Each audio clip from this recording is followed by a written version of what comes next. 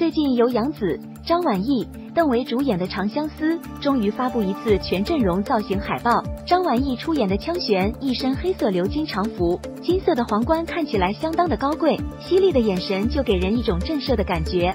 谭健次出演的香柳一身白色的衣服，看起来质感非常的好，银白色的头发看起来并不太适合他。不过香柳这个人设应该是很让观众有好感。彭小苒出演的东宫可谓是虐剧的鼻祖。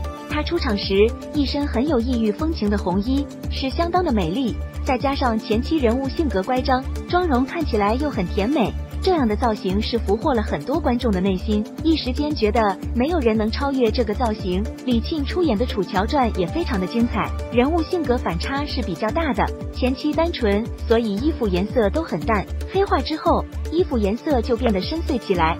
特别是杀女主的那场戏，一身红衣相当的大气。特别是露肩的设计，也给了这个人物一种悲伤、摆烂的感觉。李沁的哭泣真的特别的让人共鸣。这次《长相思》官宣的造型阵容，并没有给观众很惊艳的感觉。男演员的造型看起来也很一般，杨紫的造型多样一点，但是这套红衣造型反而不适合她，特别是头上佩戴的红花，给人一种影楼风。其实《沉香如屑》中的造型，我个人觉得是最适合杨紫的，就是衣服颜色太素了，如果再增加一点亮色就更好了。